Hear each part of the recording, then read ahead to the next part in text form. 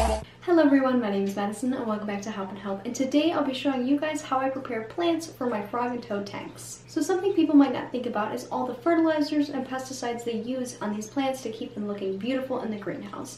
You never want to put any chemicals into your frog tank and this is no exception. The steps I'm about to show you are how I prepare these plants and make them perfectly safe for my frogs. However, when you go and get plants, make sure that you're getting non-toxic plants. You can ask the greenhouse workers if they're non-toxic or you can look it up on Google if you know the name of the plant. I personally don't buy any plants that I do not know the exact name of because it's too much of a risk because you don't know if they're non-toxic so no matter what you do the plant itself is going to be toxic so just keep that in mind. So the first thing is materials. I'm using an all-natural topsoil. You want to make sure that it has no fertilizers, no pesticides, and no artificial pieces to it. Then your plant of choice. Sometimes you'll need a bigger pot. I'll explain that a little bit later. And a shovel.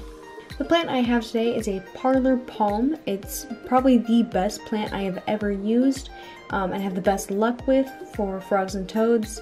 Um, not really good for toads that like to burrow into the roots. They're pretty small and delicate.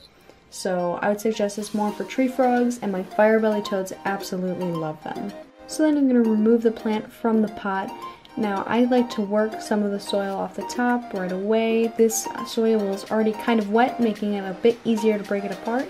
Then you can just hit that with the hose a little bit and start to loosen up these the dirt from the roots. You're going to notice that when you spray it with your hose, it's going to show a lot of the fertilizer that is stuck in between these roots. The goal of this is to remove all soil and all fertilizer from these roots so that we can make them perfectly clean, so that we can replant them into fresh soil that is 100% natural. So what I was saying earlier about needing a bigger pot is when these roots are really tight and compact um, from the greenhouse.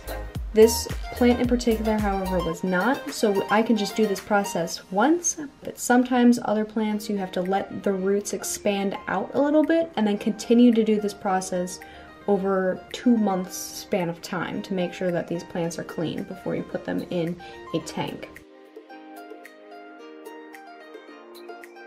Now I will be reusing the same pot because I didn't have that problem, so just gonna clean that out real good.